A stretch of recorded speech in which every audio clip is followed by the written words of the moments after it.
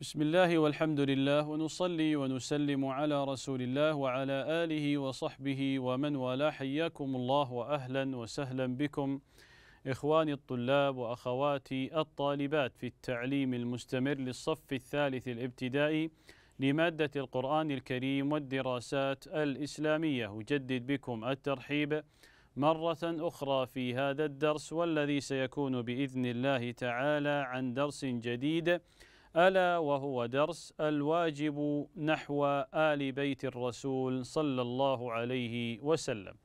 ولكن تعودنا إخواني وأخواتي وقبل أن نبدأ درسنا الجديد أن نستذكر ونراجع وإياكم ما سبق أخذه في الدرس الماضي.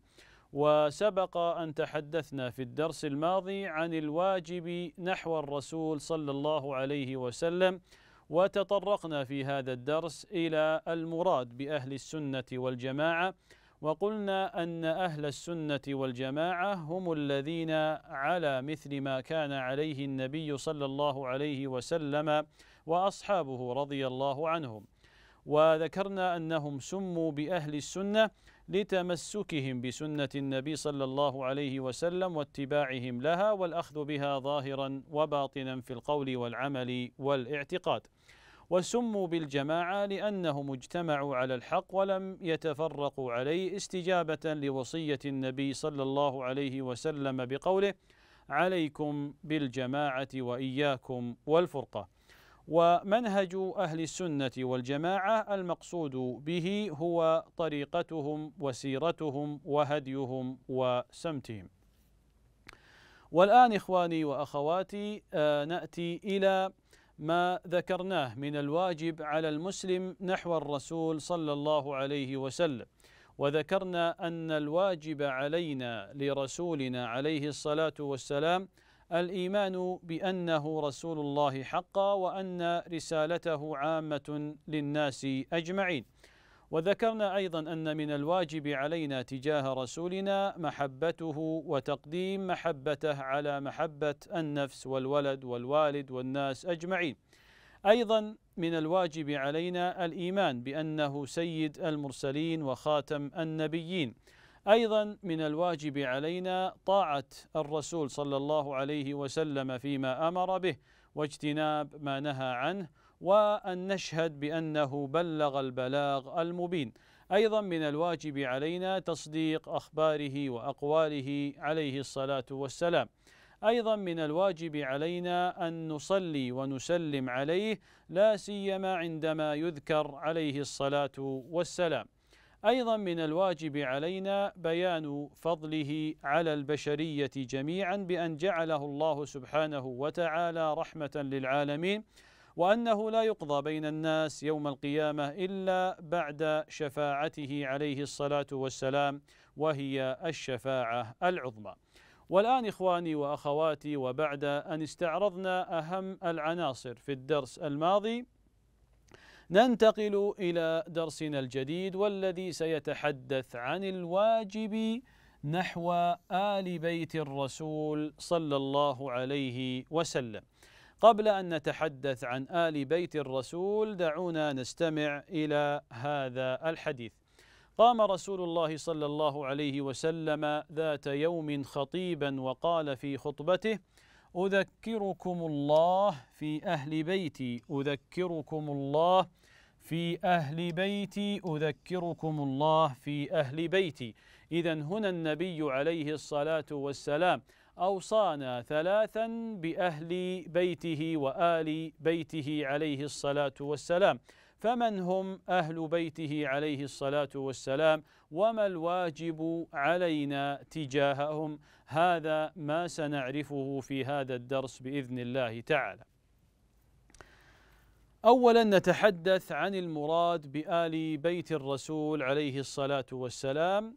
إذا قلنا آل البيت المقصود بهم ذريته وأزواجه ذريته وأزواجه عليه الصلاة والسلام. يدل لذلك قوله عز وجل إنما يريد الله ليذهب عنكم الرجس أهل البيت ويطهركم تطهيرا. وهذه الآية قد جاءت بعد أن خاطب الله سبحانه وتعالى زوجات النبي صلى الله عليه وسلم. وهذا يدل على أن أزواج النبي عليه الصلاة والسلام من آل بيته.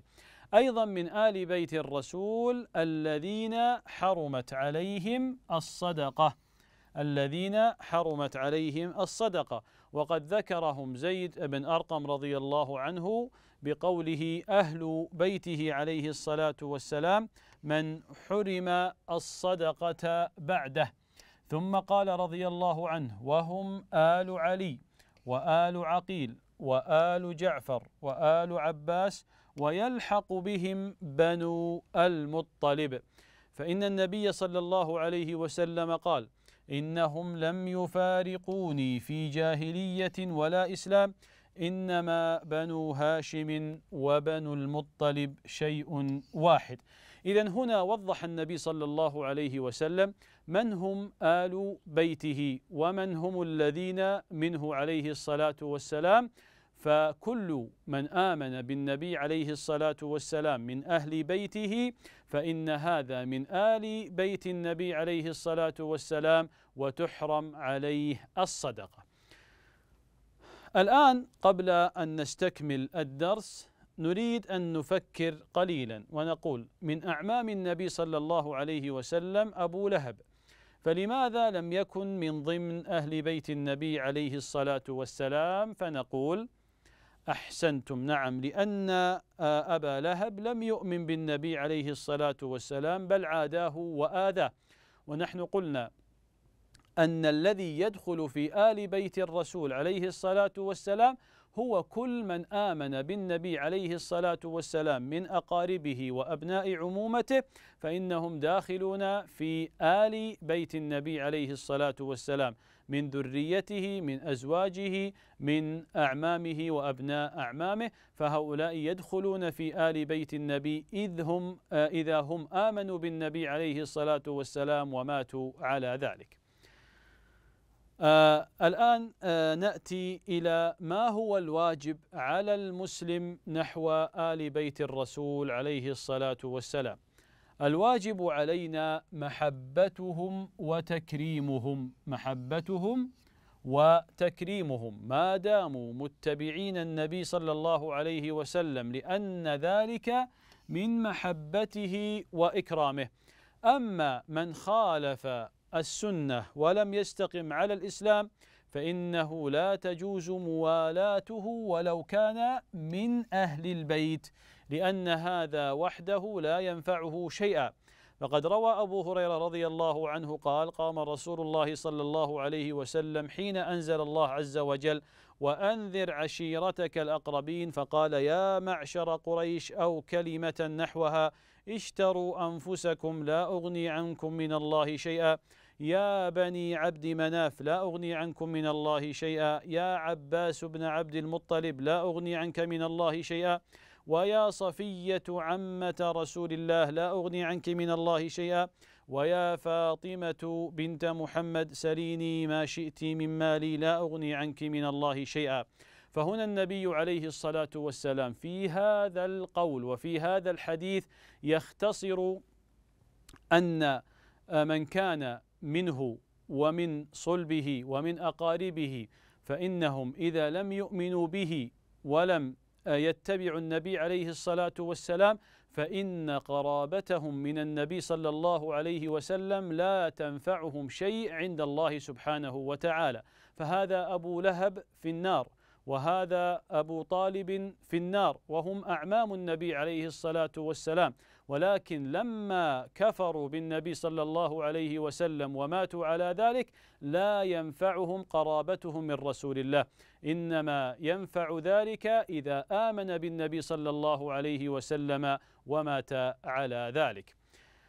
أيضا من الواجب علينا آه، تجاه آل البيت كما قلنا أن نحترمهم وخاصة في وقتنا الحالي وفي عصرنا الحاضر آه، يجب علينا احترام آل البيت رضي الله عنهم ولكن ينبغي علينا ويجب علينا الحذر من الغلو فيهم لأن, لأن الغلو فيهم يقودنا إلى الوقوع في البدع وفي آه، الأمور التي لم تأتي بها الشريعة الإسلامية. آه، الآن آه، ننتقل إخواني وأخواتي إلى هذا النشاط ونتشارك سويا في حله. فنقول بالتعاون مع مجموعتي أراجع كتاب رياض الصالحين وأستخرج الأحاديث الواردة في إكرام أهل بيت الرسول صلى الله عليه وسلم وبيان فضلهم. ومن الأحاديث التي وردت في هذا الباب في هذا الكتاب العظيم حديث ابن عمر رضي الله عنهما أن أبا بكر الصديق رضي الله عنه قال أرقبوا محمدا صلى الله عليه وسلم في أهل بيته. فهذا هو أبو بكر الصديق يوصي الصحابة أن يهتموا بآل بيت النبي عليه الصلاة والسلام لأن إكرام آل البيت من إكرام النبي صلى الله عليه وسلم. آه ننتقل الآن إخواني وأخواتي إلى التقويم ونتشارك سويا في حله. السؤال الأول ما المراد بآل بيت النبي صلى الله عليه وسلم؟ نقول أن المراد هم ذريته وأزواجه والذين حرمت عليهم الصدقة. السؤال الثاني ما الواجب تجاه آل بيت النبي صلى الله عليه وسلم؟ الواجب محبتهم وتكريمهم. ما الواجب نحو أهل ما الواجب نحو أهل البيت في العصر الحاضر؟ فنقول أن الواجب آه، علينا احترامهم مع عدم الغلو فيهم. السؤال الرابع ما الشيء الذي يحذره المسلم تجاه أهل البيت؟ فنقول نعم الغلو فيهم ورفعهم فوق منزلتهم. إذا إخواني وأخواتي بهذا نكون قد وصلنا إلى ختام درسنا. وبإذن الله تعالى نلتقيكم في دروس قادمة. إلى ذلكم الحين. نستودعكم الله. والسلام عليكم ورحمة الله وبركاته.